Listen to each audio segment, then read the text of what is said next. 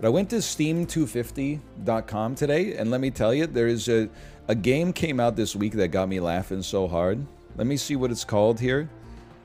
It's called Endless Fucker. it's 18 plus, by the way.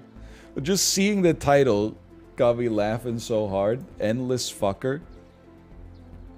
Endless runner mechanics combined with 3D sexual content, gorgeous ladies, different body types, and loads of sexual animations.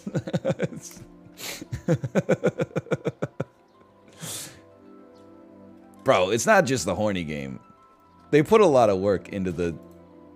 Oh, my dude's dying.